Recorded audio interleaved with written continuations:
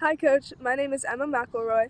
I go to Governor Livingston High School, class of 2024. I play outfield for Untamed Softball Navy. Thank you for watching.